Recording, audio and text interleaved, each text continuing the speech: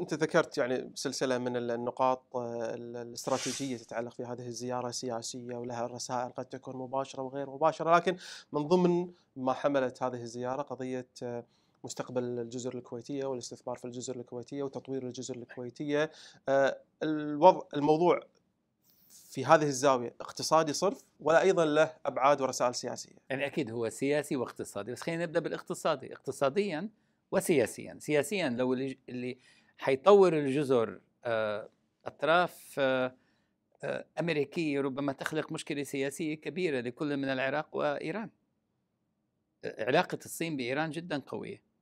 علاقة الصين بإيران اليوم النفط الإيراني مع العقوبات الممكنة قادمة راح تستنفذه وستاخذه يعني الآن نصف النفط الإيراني يذهب إلى كل من الصين والهند. علاقة الصين بإيران هي البديل. لايران آه، عن أي عقوبات خاصة إذا ضعفت أوروبا أمام الضغوط الأمريكية. بالتالي تطوير الجزر من من الصين هو تطوير من دولة بالنسبة للدول الثلاثة التي يجب أن تتفاعل الناس فيها وتكون هي منطقة حرة تتحرك الناس تأتي وتذهب وتكون منطقة نامية مقبولة للدول الثلاث وبالتالي هي أرض يعني لو, أرض. لو كان الاستثمار في الجزر من قبل الأمريكان أمريكي قد يخلق مشكلة لسبب أنه آه، أيضا آه، قواعد الأمريكية منتشرة بهذه المنطقة. إيران تعتبر هذه القواعد موجهة ضدها. وبالتالي لما لما أنت تأتي بالصين أنت عم تعطي تطمينات إلى دول عندها إشكالية آه، ثقة بمحيطها وعندها إشكالية ثقة بالدولة الكبرى الولايات المتحدة خاصة في ظل ترامب وسياساته. ربما في ظل أوباما لما كان الأمر لكن بظل ترامب الأمور أكثر توترا. فمرة ثانية اقتصادي لكن في له بعد سياسي وفي جانب منه مرتبط باستقلالية الكيان الكويتي وبحثه عن آه، مصالحه المستقبلية. وما غير ننسى غير. غير الأمريكان. نعم نعم وبحثه عن هذا وعنده ترتيبات حتى ترتيبات تركية وغيرها. وما ننسى إنه بالنهاية آه آه أشرت حق تركيا أكثر من مرة.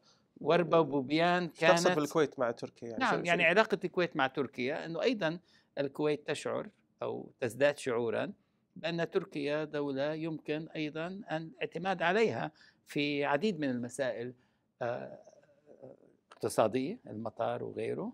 أحس توجه لتركيا الاقتصادي ضخم.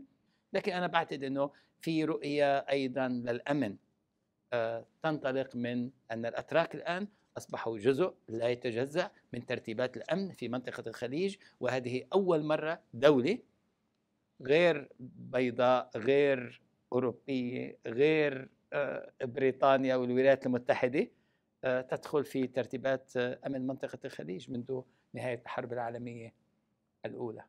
وبالتالي الدخول التركي إلى الدوحة كقاعدة عسكرية أعطى لدول أخرى في المنطقة أن الأتراك جزء من الترتيبات. أكيد ممكن لازم ممكن لازم تحكي معهم. لا لا لا يشترط أن الكويت تذهب بهذا الاتجاه لكن أكيد أكيد. هم أصبحوا جزء من ترتيبات الأمن في منطقة الخليج ولابد من الترتيب معهم حتى لو كان على صعيد تجاري واقتصادي. لا تجاري واقتصادي وأمني. صاروا جزء صاروا خط صاروا بيجوا بيروحوا. كيف لما إجت بريطانيا بالبداية؟ يعني بريطانيا جاءت إلى عملت اتفاق مع الشيخ مبارك بعدين عدد آخر من الدول عمل معها تفاهم. مو شرط نفس التفاهمات تقع. لما تبرز قوة والقوة هاي لها مصداقية. ونجحت في إنها تعطي أمن وتعطي مكانة لقطر في في ظرف صعب جدا لقطر. الكيان القطري كله كان تحت التهديد. أكيد الأطراف الأخرى التي قد ترى أنه يعني لازم نحكي معاهم آه بعد دخول الأتراك على الخط. طبعا. أصبحوا جزء من ترتيبات الامن بالخليج فمن صالحنا أنت تقصد إنه يعني إن إحنا نفتح أكثر مع الأتراك؟